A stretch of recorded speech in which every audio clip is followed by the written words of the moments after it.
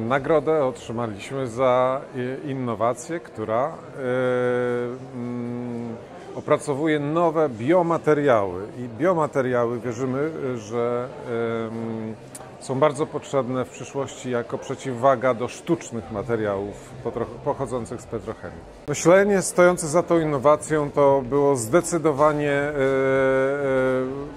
przekierowanie technologii i materiałów w stronę przyjazności ze środowiskiem, czyli e, drugorzędne było myślenie o produktach. Najpierw chcieliśmy opracować bazową technologię przemysłową wytwarzania materiałów, które są w pełni przyjazne środowiskowo oraz proces ich wytwarzania jest e, przyjazny, czysty, nie generuje żadnych toksyn. A z tego okazało się, że wyszły bardzo fajne materiały, zaawansowane, naturalne, które będą alternatywą do szkodliwych materiałów.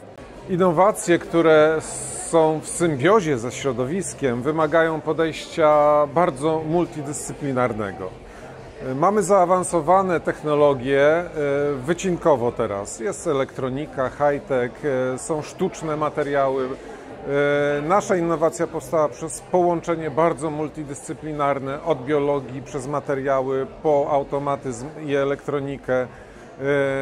Takiego, takiej metody przetwarzania biomasy, żeby wyszły z tego zaawansowane materiały, które są przyjazne środowiskowo, więc potrzebne jest bardzo przekrojowe myślenie, współpraca między różnymi dyscyplinami i przełamywanie barier, nie bazowanie na tym, co obecnie nauka i przemysł mówi, że się da lub nie da, tylko zupełnie, zupełnie inne zastosowanie e, high-techu.